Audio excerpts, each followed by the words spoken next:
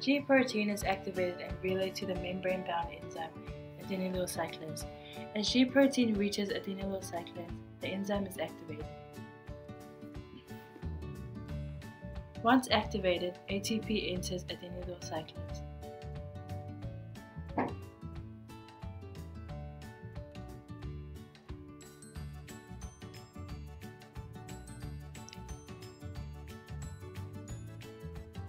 ATP is then converted to AMP by the adenylyl cyclase. AMP is then bent into a circle to become cyclic AMP.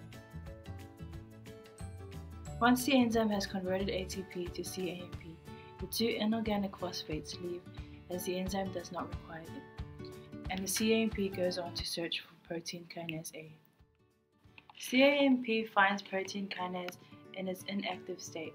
cAMP then activates protein kinase A. This overall process is repeated as many ATP molecules are converted into cAMP, and each cAMP messenger activates a protein kinase.